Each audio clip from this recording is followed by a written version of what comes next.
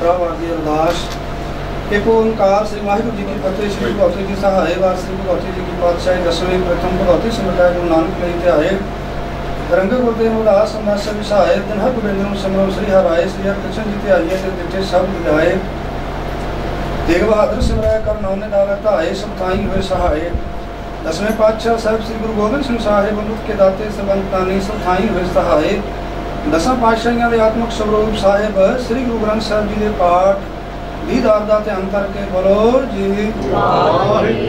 ਪੰਜਾਂ ਪਿਆਰਿਆਂ ਚੋਂ ਸਾਹਿਬਜ਼ਾਦਿਆਂ 40 ਮੁਕਤਿਆਂ ਅੱਠੀਆਂ ਜਪੀਆਂ ਤਪੀਆਂ ਦਾ ਨਾਮ ਜਪਿਆ ਵੰਡ ਕੇ ਛੱਡਿਆ ਦੇਖ ਚਲਾਈ ਤੇ ਗਵਾਹੀ ਦੇ ਕੇ ਅੰਮ੍ਰਿਤ ਕੀਤਾ ਤਨਾ ਪਿਆਰਿਆਂ, ਸਚਿਆਰਿਆਂ ਦੀ ਪਵਿੱਤਰ ਕਮਾਈ ਦਾ ਧਿਆਨ ਕਰਕੇ ਬੋਲੋ ਜੀ।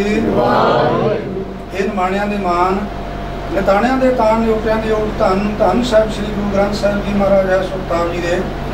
ਪਵਿੱਤਰ ਕਰਨਾ ਵਿੱਚ ਅਰਦਾਸ ਬੇਨਤੀ ਜੋਗਰੀ ਹਰ ਪਵਿੱਤਰ ਮਹਾ ਕੀਤਾ, ਲੋੜੀ ਹੈ ਕੰਮ ਸੁਹਾਰ ਪੈ ਆਖੀ ਹੈ। ਕਾਰਜ ਦੇ ਸਵਾਰ ਸਤਿਗੁਰੂ ਸਰਸਾਖੀ ਦੇ ਪਵਿੱਤਰ ਮਹਾ ਵਾਕਾ ਸੀ ਖਾਲਸਾ ਦੀਵਾਨ।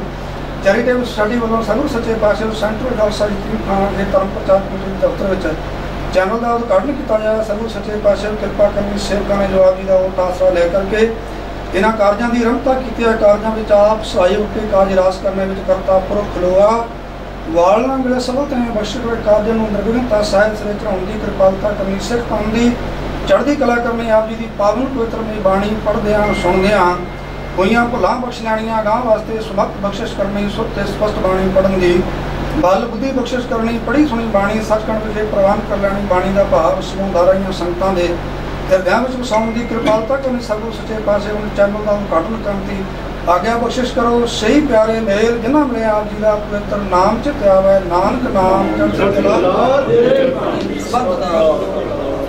ਵਾਹਿਗੁਰੂ ਜੀ ਕਾ ਖਾਲਸਾ